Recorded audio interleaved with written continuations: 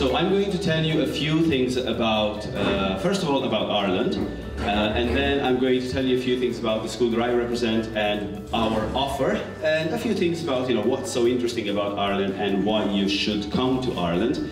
Because even though it's a tiny, tiny little country, uh, it's an amazing country. Uh, we have a very, very nice population, so you'll definitely love it. So uh, I'm, we're just just press the button whenever you, you, you feel like. So uh, I represent uh, Swan, uh, Swan English Language Training, and uh, we are based in Ireland. Uh, Ireland, Ireland, Ireland, Ireland. Uh, we're based in, in Ireland and Dublin. But before I tell you a few things about Ireland, can you tell me what do you know when, when you hear Ireland? What do you think of? Just give me a few. Leprechauns? Well, no? Anything else? St. Patrick, that's true. Well done. Anything else? Gingers. Okay, we don't say that. Red hair. okay, anything else? Absolutely. I didn't want to be very Irish, so I didn't wear green. But my socks are green, uh, I think. Uh, anything else? When you, when you hear Ireland? Okay, so actually, basically, you know, can you kind of cover this? Uh, of course, these are the cliche. Yes, there's much more to that. So if you if you press the button a few a few times, uh, so uh, you already mentioned the color. Uh, of course, we are a very very green country. Uh, so this is well known. We're also very well known for this, the best thing in Ireland. Yes, Guinness. Uh, have you ever tried it? No? Well, don't, okay? Don't. Because in Russia it's not good, yeah? Uh, also, we're very well known for our rain. Yeah, in Russia you're very well known for your snow, which I first, I touched the snow today, like yes, I'm like a baby, yes, no. Uh, but we're very well known for our rain, because it rains a lot, but also because we have a lot of, lot of rainbow, uh, so that's great. And of course, we're known for our red hair, not, not ginger. And of course, we're known for our sheep, yeah. Uh, Ireland has a population of 4.6 million, and we have 8 million sheep. Yes, and 6 million cows, so there are more animals than people. Uh, and also, we're very well known for St. Patrick. Well done. But these are some of the cliches as in people, when people hear about Ireland, this is what they think of. However, we're, we're uh, more famous for other things as well. So if you, if you press, for example, we're famous for our landscape. This is the Atlantic Ocean, the cliffs of Moher. Uh, eight kilometers long. We're famous for our castles, very romantic castles. Actually, this is a story of a romantic lake. We're famous for our highest cliffs in Europe. 600 meters. And the next is New York. Uh, we're famous for our uh, churches and our cathedrals because we've been, we've been uh, you know, um, occupied for about 800 years, but nobody else came, so we didn't destroy them. So these are just a few, but we're also known for our famous writers, some of the most famous in the world. For example, Jonathan Swift, everybody knows him. Uh, we have, who's that? Oscar Wilde, absolutely, yeah. Uh, he's quite famous. Who's this one? Somebody said, James? James Joyce. He's also, yeah, very, very famous. He's actually known as the father of modern novel. This is one of the most romantic uh, writer, William Butler Yeats. So very, very romantic. This is George Bernard Shaw. So he's also very famous. And then just another one is Samuel Beckett. So lots and lots and lots of famous writers. And these are only the old ones, but we even have nowadays, we have very, very, very famous writers. For example, these three, those three, they won the Nobel Prize for, no, it's fine, the Nobel Prize for Literature. There are actually four, four uh, writers who, who won the Nobel Prize for Literature. But I'm not here to only tell you about Ireland. I'm here to tell you a few things about our school, Swan, and what we represent. Uh, we are based in the city center, and because we are an English language training, uh, of course, one of the first things we offer is uh, language school. So we offer uh, English courses. I'm going to tell you a few details about this. We've been in the market for about 30 years because we were founded in 1988. So that means we know a few things about education. Uh, we have taught students from 120 countries. Because of this, we have an international reputation. People from around the world, they know about us. If I, when I go to different fairs, they say, oh, I've heard of Swan. Also, we are state recognized. Uh, these three, three symbols means that the Irish state recognizes the school. This is uh, Marketing uh, English in Ireland, is, a, is an organization that promotes English abroad and also helps the students with the visa process. And EAQUALS is an international uh, body that every two years comes and checks the school, checks the, the classrooms, checks the teachers, checks, they, they also check uh, our uh, syllabus, what we teach, the families where students stay, and if they're happy with that, they give you their accreditation. So we're happy to be, uh, to be recognized. And we've been recognized for about 30 years and EAQUALS 20 years, so you get the guarantee of a good English language course. Also, uh, one of the, the, the, the interesting about uh, schools is uh, the fact that we are located right in the city center. For example, Moscow, the city center of Moscow is what? Kremlin. Yeah?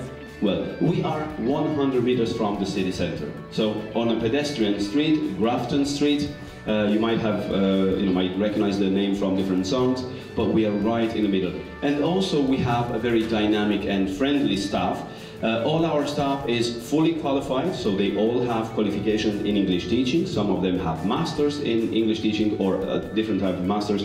We have uh, teachers from Canada, from uh, Australia, from uh, obviously from Ireland, and from the US. So if you study with us, you're not just going to hear the Irish accent, you're going to, to encounter teachers from other uh, English-speaking countries. So you're going to get used to different uh, accents. So basically, what do we offer? First of all, we offer English uh, classes. Uh, the, the most, uh, say, uh, common uh, offer we have is English course. It's just general English. We have classes in the morning, in the afternoon. We offer uh, intensive or semi-intensive. Depends on you know how much you want to want to study. another thing we offer is IELTS preparation course. And this IELTS preparation is a bit different from other um, IELTS because our program runs all year. Okay, so you don't have to wait for specific dates to come and do the course. You can come any Monday. Yeah? We have two cycles of six months and you join any Monday, you stay for two, three, four, five, six months as long as you want and you're almost guaranteed to pass the test. So far we have 97% uh, success rate. So that's very high. Uh, of course, uh, we also offer a one-to-one -one lessons. So for students who want to focus on something specific, for example, you say, I want to improve my pronunciation, but in the class, I can't really do that. You can have a one-to-one -one session with the teacher, only work on your pronunciation. So we focus on different things. And also, what is different um, is the fact that apart from the English language, we also offer teacher training courses. Yeah? So you, if you want to become an English teacher, well, you're in the right place. Uh, one of the courses, the most popular course we offer is CELT, Certificate in English Language Training, uh, which means basically if you want to become an English teacher, you have to have a good level of English. You're going to study for four weeks, very, very, very intensive. It's eight hours every day. Four weeks, very practical. You're going to teach, practice for six, uh, six hours, and then you're going to observe teachers for six hours. So you do this, and then after four weeks, you are allowed to teach English. Also, we, if you're already a teacher, okay, like your teachers, you want to learn new methods, new ideas, you can do a teacher refresher course, one or two weeks. Uh, you can also do CLIL, which is Content and uh, Language Integrated Learning. Basically, what this means, uh, we take a text and we make the text into a lesson. Okay, so you learn how to adapt any material to make it an English lesson. Because you can learn from anything.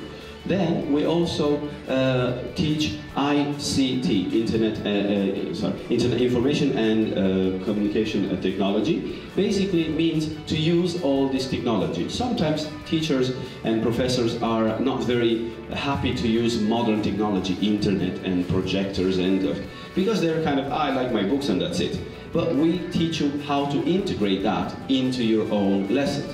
But apart from this, now, uh, like I said, the most popular one is CELT, the uh, Certificate in English Language Training. And um, you might have heard of it, so if you want to uh, press one again. Uh, this, is, this is what the CELT offers. If you compare CELT with TEFL, uh, some people want to do it online. Well, you have to be very careful because if you do TEFL online, it's not uh, necessarily guaranteed you will be allowed to teach because if you do it online you have no interaction with real students. It's all online you can whereas if you do CELT apart from you know your, your practical teaching you're actually going to be in class with real students and you have to teach real lessons okay? So uh, you see the difference. Also uh, CELT and CELTA it's actually the same certificate. CELTA is given by the, Oxford, uh, by the Cambridge University, but it says 120 20 hours, 6 hours of teaching, and if you look at CELT, it's exactly the same. The difference is, CELTA is awarded by Cambridge, CELT is awarded by Irish Education Department. So they're both equally the same. You can teach in Russia, you can teach in Turkey, in China, in any other country with both certificates. Okay, so that's the that's the, the, the, great news about. Also, apart from this, uh, when you're doing your CELT, you're going to cover different topics. So just press another one. Press all the all the way down. You're going to teach. Uh, actually, you're going to cover how to uh, to manage your class, how to teach your speaking and your listening. You yeah, how to analyze. You look at the text. How do I analyze this language? Because it's very very important. Uh, how to teach, to teach small groups, one-to-one, -one, big groups, uh, groups that have the same language, groups that have different languages, you know. So uh, you're going to, to do all this, how to correct the errors. It's not always nice to say, no, you're wrong there. Yeah, you have to do it in a nice way so then the student can uh, learn and you don't want to scare the student like, oh, I'm not going to say anything again. Yeah, so you're going to, to learn different, uh, different approaches. You can, you can uh, press you, uh, we're going to teach you how to use games, how to use different activities. It's not all about let's sit down and learn. We can, we can play, and while we play games, you still learn English, because we do games in English. Uh, we're going to teach you how to, you, how to teach vocabulary and pronunciation. Yeah, uh, how to uh, do the testing, because you will through your career, you will have to teach exams and so on. So as you can see, there are lots and lots of things that are covered in this, uh, in this course. But apart from this, we also offer some specialty courses. And one of the most popular is aviation English. For example, people who are already learning how to become pilots in their own country, they can come to our school and one of our pilots is going to teach you how to speak like a pilot. Yeah, so we have an English uh, course, and then it's a special, special language you have to use uh, as a pilot, and then they will teach you. Also, we're going to take you to um, an airport to show you how an airport works okay, the control tower and so on. Apart from this, if you want to study at an Irish university, we have International Foundation Program, uh, which means that you're going to be in, in, uh, in uh, our universities, you're going to spend one year to improve your English and to learn how to write an essay and presentation, and then after that you can uh, join a university. Also, we have a professional development or internship as in work placement. If you're staying in Ireland for six months, you are allowed to stay two months extra and you can use those two months for whatever you want, to travel, to do nothing. But most of the students choose to go to work in a company. So you get experience from an Irish company, you're going to use your English even more, and you can choose different companies that match what you would like to do. Okay, because we work with 40 different companies. Architecture, uh, management, uh, advertisement, hotels, and uh, HR, recruitment. Uh, so we work with different companies and you can choose one of the profiles. So uh, if you press again, this is just a summary of the courses we offer, you know, from the English classes to teacher training, uh, specialty courses. Uh, so that's why I, I was saying we're not just a language school.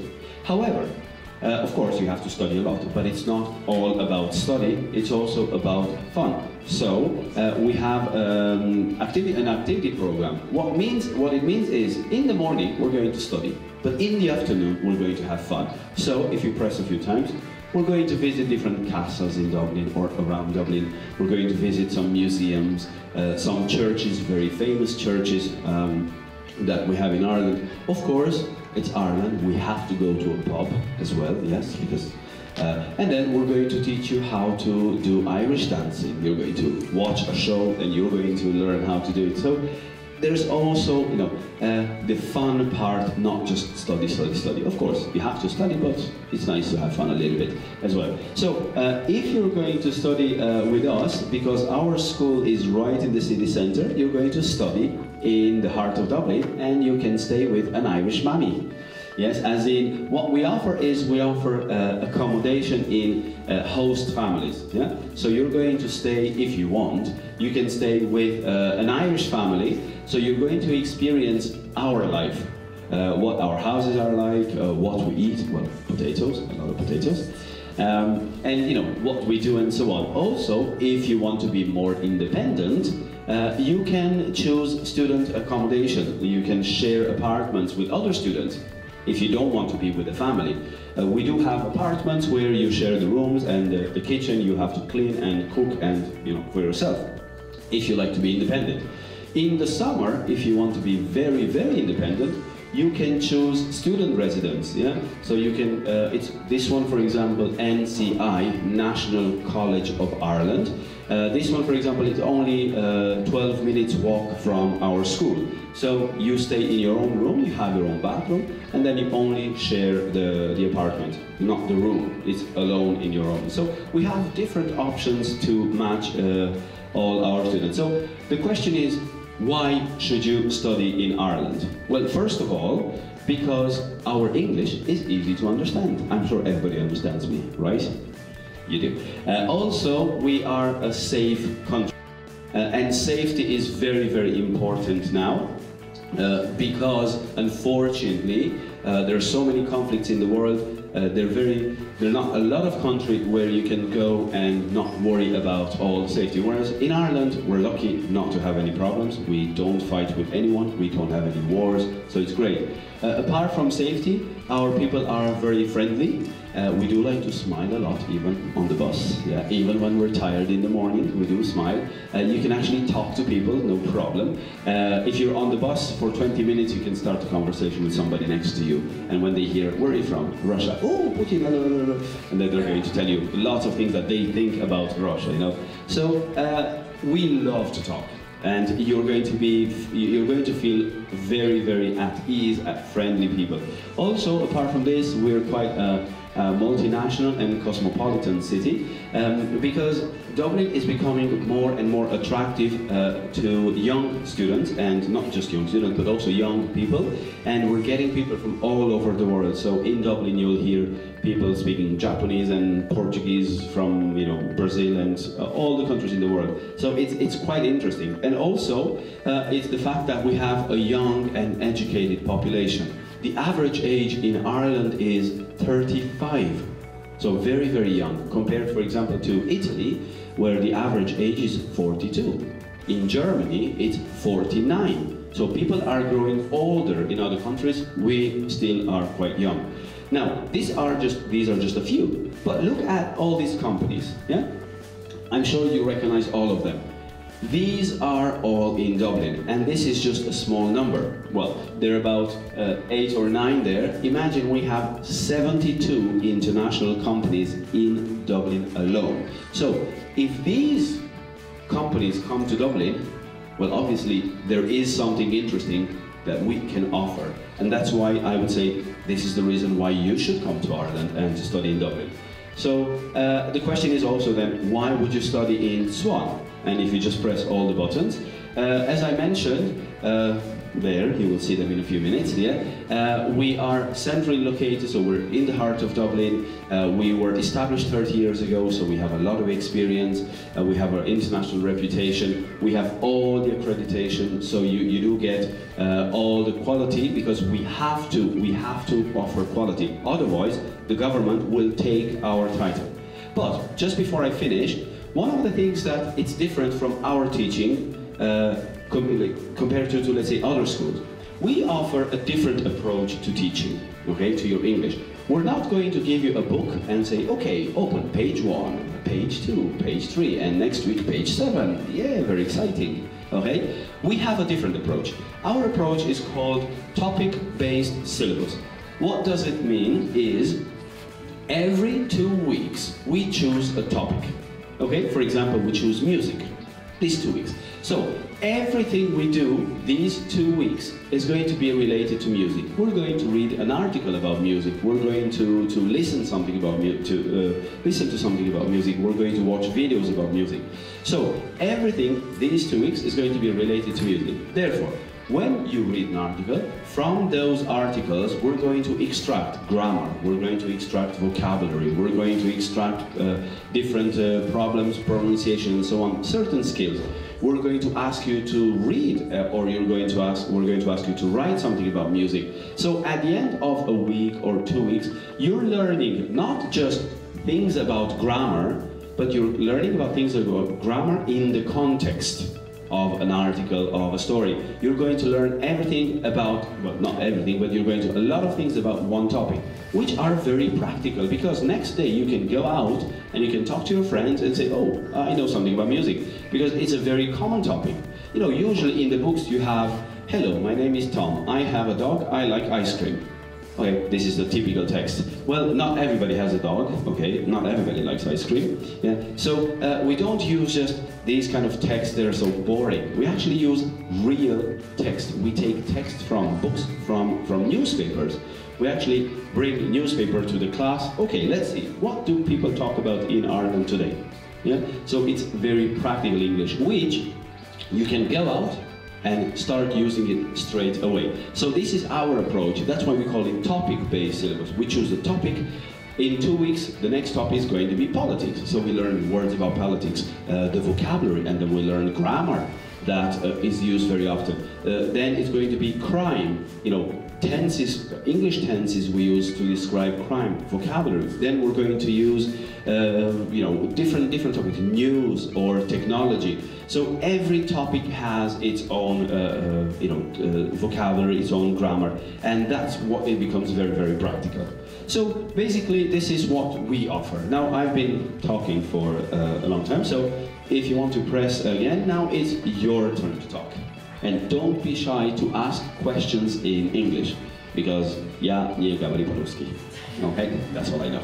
Uh, so, uh, do you have questions for me uh, about, you know, about Swan, about Ireland? Um, I'm, I'm, waiting to, to hear, and obviously I'm going to answer the questions.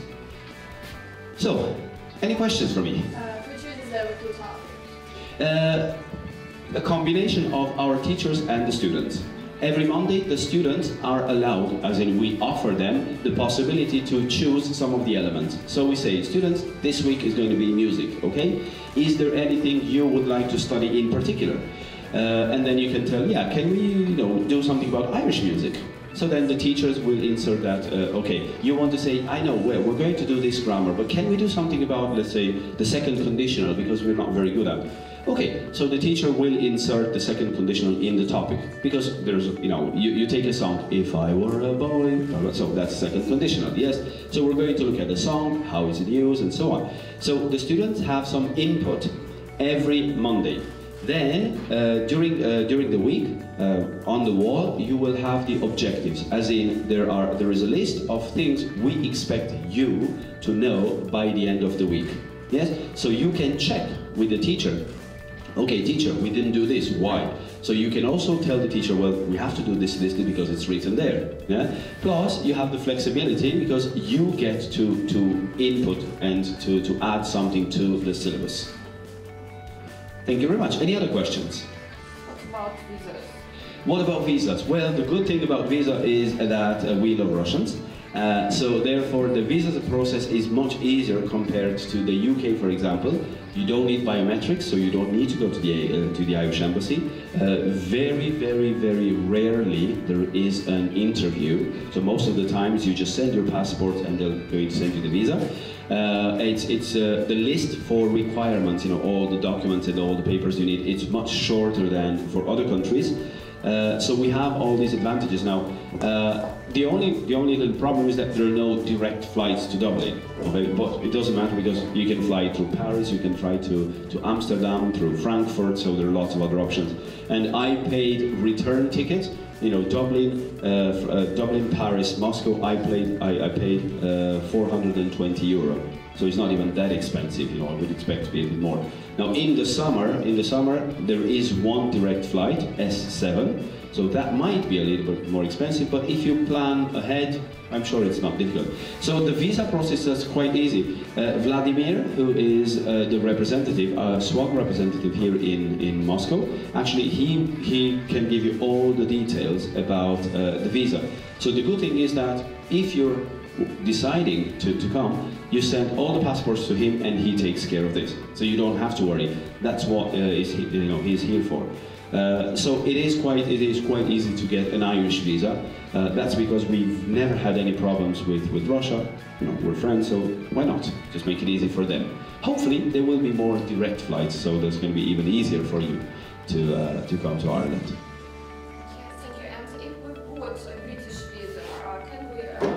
If you have a British visa, you are allowed to come to Ireland. But if you have an Irish visa, you cannot go to, uh, to England or UK because our visa process is easier than theirs. So then you have to go again through the same procedure. Yes. So if, you're, if you have a UK visa, then you can come to Ireland as well. Any other questions? Don't be shy about the weather in June. It's going to be about uh, 21 degrees maximum because we don't have really hot weather. Uh, in the summer, uh, you usually get 25 degrees. For us, it's like, yes, very hot. But usually it's about 18 to 20 degrees. It rains about uh, 10 minutes, every 10 minutes. Uh, so yeah, of course we do have a bit of rain, uh, but it's it's it's not cold, and you know it's going to rain ten times a day, ten minutes stops for half an hour. So uh, so that's why actually Ireland is so nice and green. Yes, but we don't mind. Nobody minds the rain in Ireland. Other questions? Um, yes, please. Are the companies, companies, usually willing to take non-native speakers for a job? Because you talked that for two months you can stay and work there, but um, are they usually willing because you yes. might be? No, absolutely. They're willing because they have certain they have contracts with us because you're not really getting a job. Okay, you're actually doing internship, which is different. For example, uh, we had a Romanian student Okay, he's, he's studying business in his own country, he's studying business management, and he came to our school. He did uh, an English course only for two weeks because his English was very, very good, C1 level. And then he decided to do an internship for one month, and he did an internship with a company that does uh, recruitment. Uh, one month he was actually uh, there. First week he was doing you know files and stuff, but in the second and third week because his English was so good and he was very very good, uh, straight away they asked him to make phone calls, to call people, to arrange interviews, and actually the la- in the last week, in his fourth week, he did the interviews himself because it's a, just a set of questions. So yes, they are willing. We place uh, we place students from all over the world. We had a group of Czechs uh, you know, students, and 12 of them, and they came to us. Uh, yes, absolutely they are, because you're not getting a job, okay? You're getting an internship, and they know you're going to be there for maximum two months, and then you go. Uh, so that's good. Of course, the internship is unpaid, but the idea is you get the experience. Yeah, so absolutely, absolutely uh, willing to do that. Uh, the, the great thing is, the better your English, the more chances you have to get real work. If your English is really bad, then all they do is, well, bring coffee, do this, you know, photocopy this. But if your English is good, and because you're staying for two months rather than one or two weeks, they know, okay, in the first two weeks, uh, this person is going to get used to, the company. But after that, this person can actually work because he's going to be here for another six weeks. Now, if you're staying for a very short time, two weeks or three weeks, usually they don't really give you work because they know, well, by the time you learn, you have to go. So what's the point? Right? That's why we advise our students to, to take the whole, uh, two, you know, the, the, the full two months to take advantage of that. Because that way, you're actually going to really, really work. Right?